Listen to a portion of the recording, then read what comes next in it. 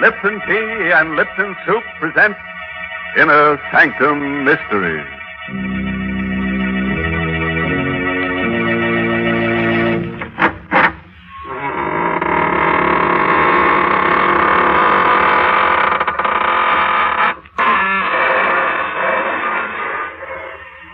Good evening, friends of the Inner Sanctum. This is your host to welcome you through the squeaking door for another half hour of lovely chills and shudders. Oh, before we begin tonight, I'd like to give you a word of advice. If you should ever walk through a cemetery at midnight and come face to face with a transparent personality floating above a tombstone, don't be frightened. After all, you can see right through him. Good gracious, why do we have to talk about cemeteries? Because, Mary, our story tonight is about a vampire. Where else would you expect to find one if not in the cemetery? In the Vampire State Building? Well, suppose you go wait in that closet there and talk to the skeleton while I have a word with our Lipton listeners about one secret of success. You know, folks, when a Hollywood actress climbs up to stardom, it's usually because there's something different about her personality. And that's true of other success stories. Lipton Tea, for example, is the largest selling brand of tea in the world because it's different from other teas. Lipton's has that wonderful hearty flavor the tea experts call brisk, which means it's bright and zestful in taste, never wishy-washy or flat. Now, don't take my word for it. Compare Lipton's to other teas yourself. That's the real way to discover Lipton's rich, full flavor, Lipton's extra flavor that brings you all the goodness of a superb tea. It's full-bodied and satisfying, with a smooth, mellow tang that brings you real enjoyment. So pour yourself a cup of Lipton tea, folks, and then see for yourself what a difference that brisk flavor makes. That's fine, Mary, but quietly, my dear. Why the whisper, Mr. Don't make too much noise or you'll wake the dead. And we don't want to do that because tonight's story is called The Undead. It's an original radio play by Milton Lewis. Yes, and our star tonight is Anne Seymour, who plays the role of Diana. I was alone here in the penthouse sleeping. The doors leading to the terrace were open. Suddenly, I was awakened by a queer, whirring noise that sounded like the flapping of wings. I opened my eyes. Moonlight filled the room. It was one of those clear, cloudless nights. But the winds moaned and howled like weeping women. Somewhere, a dog howled. I sat up, peered into the green light of the moon. Seeing nothing at first. I lay down again. My eyes were half closed. And I heard it again. The sound of wings beating on the air. I Told myself it was nothing. Until out of the queer green shadows that surrounded me like a mist, I saw a pair of blood red eyes close to my face. No, they weren't human eyes. They were rimmed with green. They glittered like glass in the dark. I looked closer. Too frightened to move. Too terrified to cry out. The thing that seemed to be flying down my head looked like a bat. Yet it wasn't a bat. Suddenly it floated down. I felt soft fur on my neck. and my throat was pierced with a sharp, terrible pain. I started screaming, let me go, let me go. Richard, where are you, Richard? Richard! Go on, Diana. When I felt their arms around me, I knew I was safe, Richard, but it, it was the most horrible dream I ever had. Yes, I know, I know, darling. You were hysterical. What do you think it meant? Well, nothing. Nothing, of course, dear. Everyone has nightmares like that sometime or other. But it was so vivid. I could almost swear it happened just as I told it to you. Now, Diana, do you really believe you've encountered a vampire? I know it sounds ridiculous, darling. Listen, baby, you're living in New York City on top of an 18-story building. This is 1945, not the Middle Ages. Well, the whole notion is just rubbish. I tried to tell myself it was nonsense, too. But somehow. Oh, Richard, I want to get out of this place. But why? I don't like this apartment. There's something evil, sinister here. I've, I've always felt it. And listen. Listen to that wind. The wind howls around here all the time. Well, naturally, it's a penthouse, and it catches the winds from the river. You hear that? Something flapping on the terrace. That's just the awning. There are always queer noises around here, all the time, and I, I can't bear it being alone here at night. Richard, please, please don't let me stay here alone tonight. I can't stay with you, darling. I've got to go to the theater. I don't want you to go there, please. Let let your understudy take the part tonight. Take me away from here, far away where it's warm and there's sunlight. Diana, you don't know what you're saying, dear. I can't give up my part in the show. Of course. Of course. Oh, darling, forgive me, please. I'm I'm sorry I ever mentioned it. You do forgive me, don't you, Richard? Say you do. Why, of course. You're just upset over the silly dream. I know, I know. I I won't mention it again. You're okay, baby. Well, it's ten to eight. I better get going. Want to come with me? Yes. No.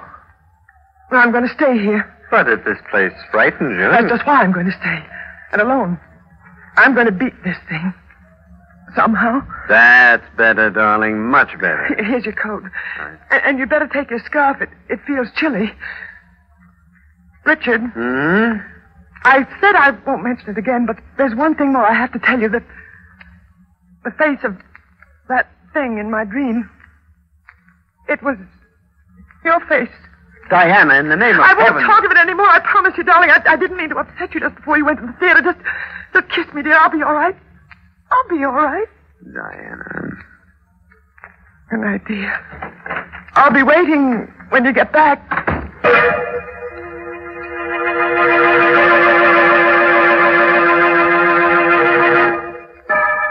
It was just midnight. Two nights later. I was waiting for Richard to come home from the theater. I was going through his desk looking for a postage stamp. And I found something that turned my blood to ice. It was a newspaper clipping dated ten years ago. The picture of a man, and under it the caption, Prominent real estate operator Richard Barker, found dead of a sudden stroke. I looked at the picture again. There could be no doubt of it. It was Richard. I read further. The deceased will be buried at Woodlawn, Greenlawn Cemetery after services in the Westland Funeral Chapel. Good evening, Diana. Richard, Why, what's the matter? You seem startled. I. I didn't hear you come in. Have you been brooding again? No, Richard. Of course not. How do you feel tonight? Not. Not very well. Weak? Weak, sleepy, ill. Well, no wonder. You've hardly been eating a thing. And I know that you never catch a wink of sleep. I told you I can't sleep in the daytime as you do. As you do. Why are you staring at me like that? Why? Why do you sleep in the daytime? I've been doing it for years. Years. What's so terrible about that? Most theatrical people do. We live and work at night. Yes. Yes, I know. Really, Diana, what is the matter with you? Nothing. You. You think I'm losing my mind? Well, I don't know what to think. Why are you pretending? Pretending what? That you're something other than what you are. Because I know what you are, Richard. Really? I found out. This clipping I found in your desk, it it tells how you died. That clipping. Oh, that. Why are you laughing?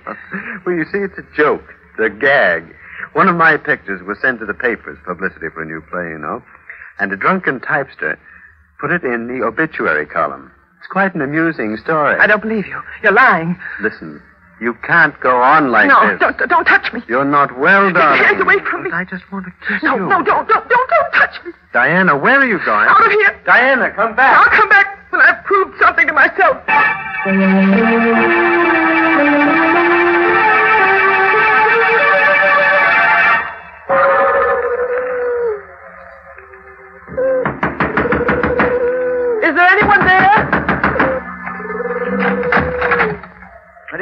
I'm sorry to wake you up. Uh, are you the caretaker here at Green Lawn? Many years, ma'am. I, uh, I want to see the grave of Richard Barker, Who are you? Diana Barker, his wife. But it's one in the morning, Mrs. Parker. I know what time it is. I, I want to see the grave. No one comes at a time like this. Please, will you tell me? Perhaps this will help Ten dollars. for disturbing you. All right. You take the path in back of my house. Turn to the right. Have you flashlight? I brought one from the car. It's only a short way, but it isn't a grave, ma'am. It, uh, it's sort of a tomb. Thank you. I'll find it. You, you want me to come with you? No, I've uh, troubled you enough. Good night. Good night. Somewhere, an owl was howling, as though warning me not to go on with this insane adventure. But I knew I had to continue. I had to be certain. I followed his directions along the path to the cemetery. The moon poked yellow fingers through scudding clouds as though showing me the way. I was frightened, terrified. There's nothing to fear from the dead. I Kept telling myself that to keep up my courage. The dead. Perhaps they were right. There was nothing to fear from them. But the undead. It was a tomb. The inscription was clear. Here lies Richard Barker, born May 7th, 1890, died September 4th, 1935. There was a lock on the door. It was old and rusty. I'd come this far. I made up my mind. I picked up a stone. Smashed the lock. I opened the door. Blackness. Inky blackness, such as one imagines one would see at the end of the world. Turned on the flashlight I took from the car. Coffin was lying in the center of the tomb, on an altar. I felt my heart beating wildly, like a throbbing drum inside me. With a trembling hand, I opened the coffin. I looked down on a ghastly white satin lining. That was all there was in the coffin. There was nothing else. It was empty. I looked up. There was a face staring at me in the shadows of the tomb. It was Richard. Diana, I knew you'd come here.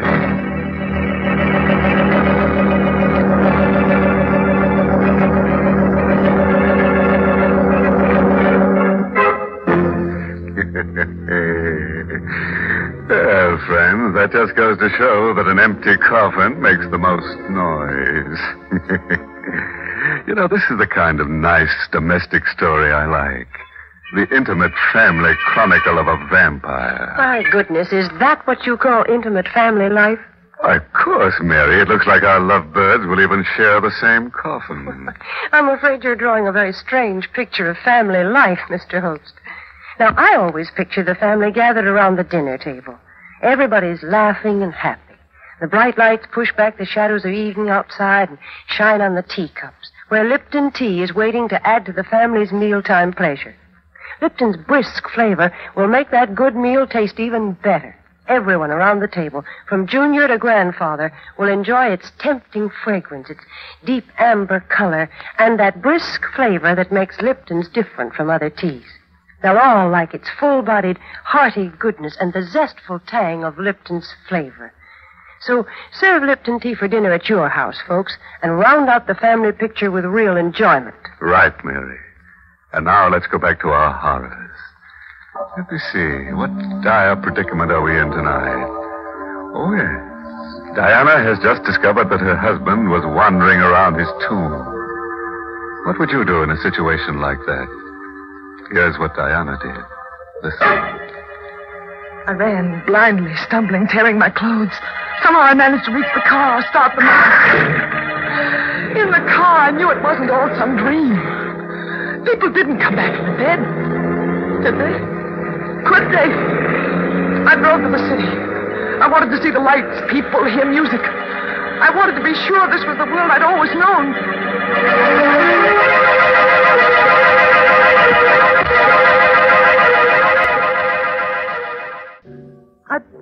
Tried to think. I, I tried to reason. I, I tried to understand what had happened to me. Because I knew something was happening to me. Something that I dreaded. I was becoming like. like them. Like Richard. I felt strange craving. Desires that I didn't dare think of. Excuse me, Mrs. Barker. Oh, May I sit with you? I. I don't believe I know you. But perhaps not. Does it make any difference? No. No, it doesn't. Please sit down. Thank you. I'm glad you came over. I'm I'm glad to be able to talk to anyone tonight. I've been watching you for the last ten minutes. Have you? You look very strange tonight. How do you know me? We all know each other. We? Yes. You realize you'll be dead soon. Dead. At least what they call dead. You. You know what's happened. Oh, yes, of course. I've seen it happening for weeks. Your face became paler and paler. It will not be long now. You will become one of us. I don't want to. It's not in your hands. It isn't true. It, it can't be true. It's quite true. Many of us have gone on for hundreds of years. Those who sustain us become like us. And I. There is no escape. No. I don't believe it. Don't you feel it? Blood.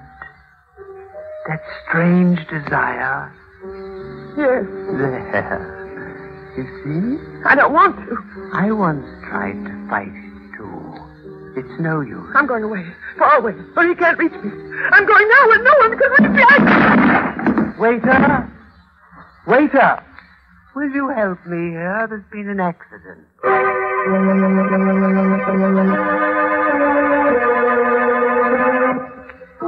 Everything is going to be all right, Diana. Just lie here and rest quietly.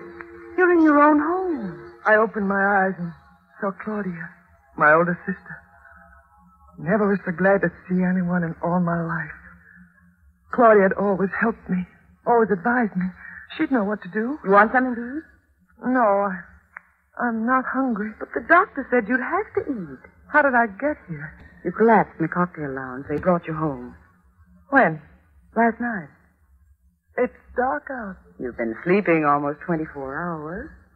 Where's Richard? At the theater. Poor boy, he was so worried about you. Was he? He sent for me.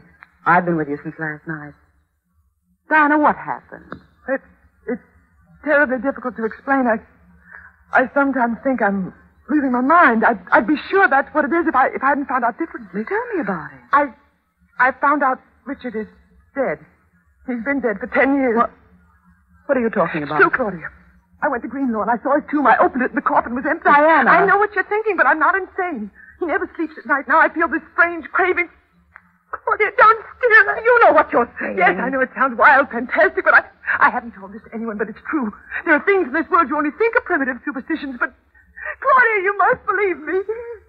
Yes, of course, I believe you, dear. We must destroy Richard. I read about those things.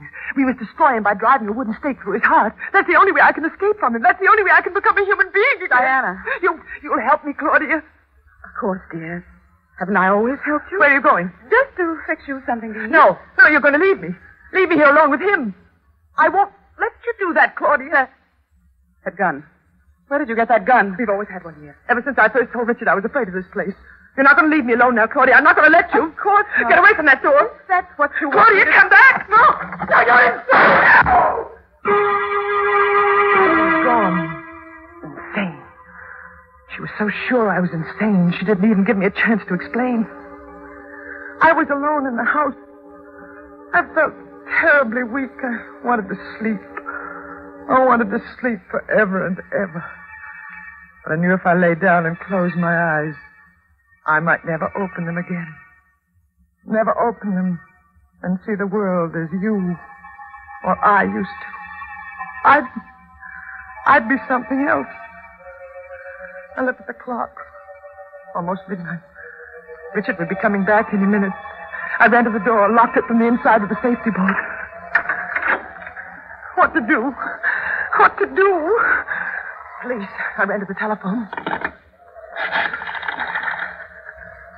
Operator. Hello, operator. Get me the police and hurry, please. One moment, please. Hurry, will you? This is a matter of life and death. Hello, are you ringing them? Police Department. Sergeant Kilwaitford. Hello, police. You've got to help me. Yes, what is it, lady? My husband, he's, he's going to do something to me tonight. He's going to make me what he is. Uh, what's that, lady? He's been dead for ten years. I saw his empty coffin. That's proof, isn't it? That's evidence. You always want evidence, and there it is. Now, do you understand? Well, I'm, I'm not sure I do, lady. What, what's your name? Diana Barker. But all right, all right, all right. Now, calm down. Tell me where you live. I live. Oh, you think I'm insane, too, don't you? I didn't say that. You think I'm crazy, just as Claudia does. If, if you'll just give me the address, lady. Oh, what's the use? Please, lady. No one believes it. I know I'm not insane. I know it, and yet. What's that? His key in the lock. He can't open it. It's bolted from the inside. He's trying to get in. But he can't. Not with that bolt. I won't open it. I won't. I'll just pretend I don't hear it. I'll cover my ears with my hands and I won't hear it. He can't get in here. If I can keep him out until daylight, I'll be safe. Safe.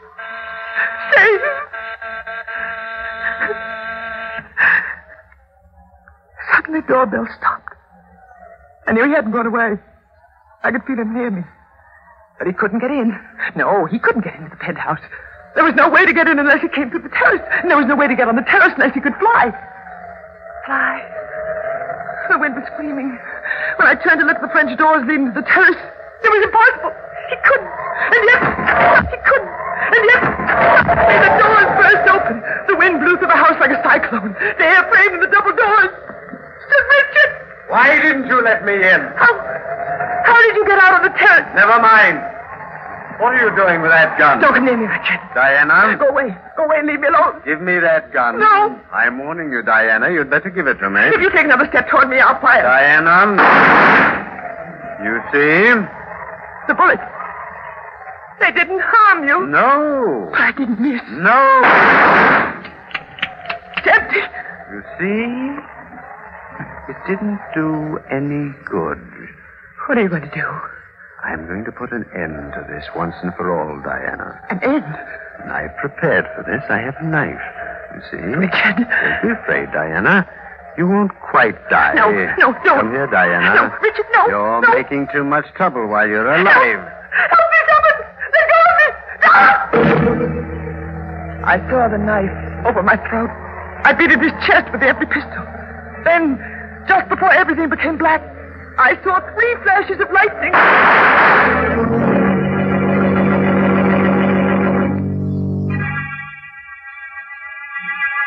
Go on, Mrs. Barker. When I woke up in the hospital, Inspector, I couldn't believe that I was still alive. It, it seemed like a miracle.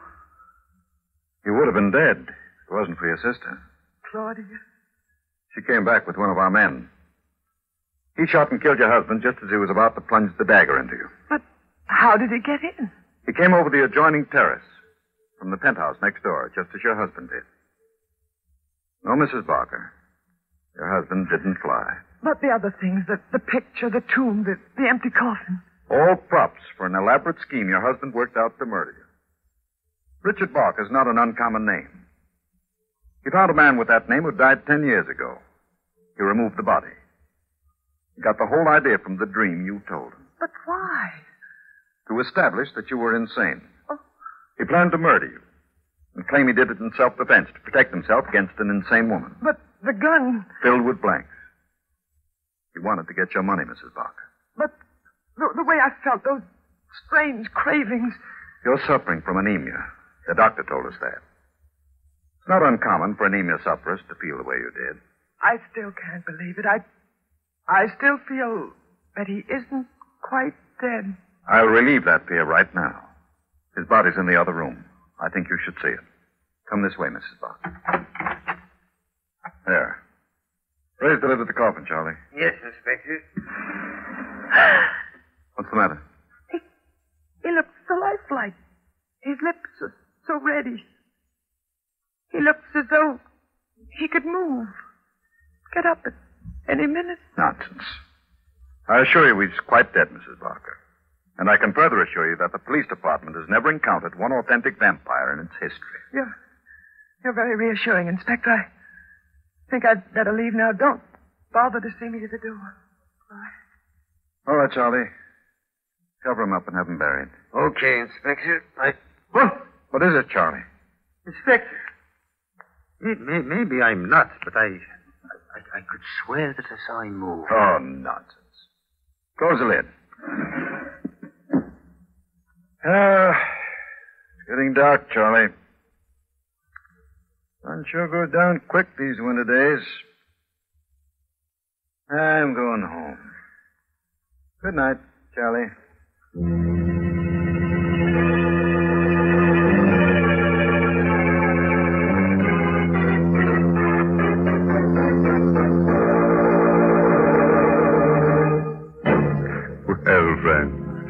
Do you think Richard is really dead?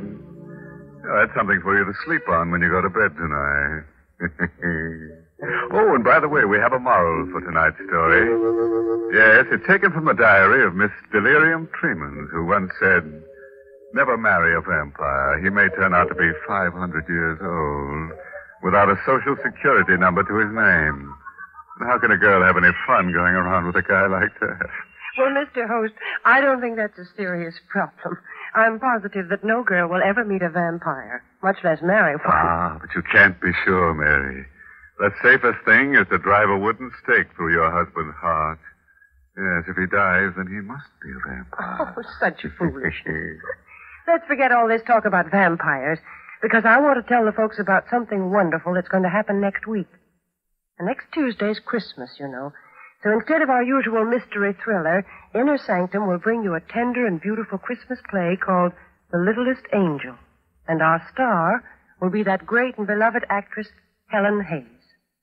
There's a lovely musical score specially written for The Littlest Angel. And the play is one your whole family will enjoy, especially the youngsters. Perfect entertainment for Christmas night.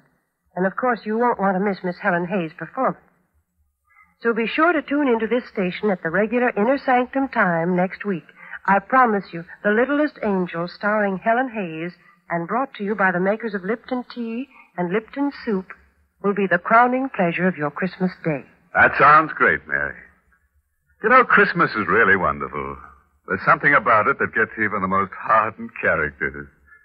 Oh, by the way, this month's Inner Sanctum mystery novel is The Fearful Passage by H.C. Branson. And don't forget what Mary told you, friends. Next week, we'll bring you Inner Sanctum's special Christmas program. Directed by Himan Brown and starring Helen Hayes, America's First Lady of the Theater. There'll be no gore, no chill. Not even one little murder, believe it or not. The holiday spirit is getting even us.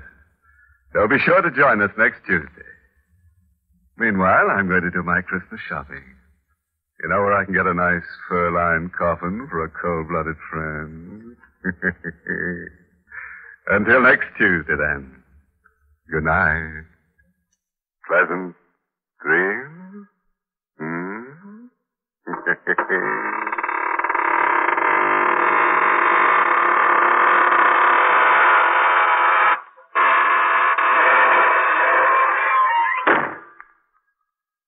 Folks, these busy days, we all want to save time when we prepare meals, and yet we don't want to sacrifice that good homemade taste.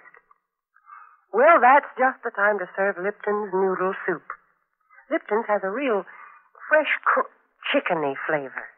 It tastes like the chicken noodle soup you'd make right in your own kitchen, and yet it takes almost no time at all to prepare. And Lipton's is economical, too. It costs less and makes lots more than canned soups. So don't forget to try Lipton's Noodle Soup Mix. And remember to tune in next Tuesday night for Inner Sanctum's special Christmas show with Helen Hayes.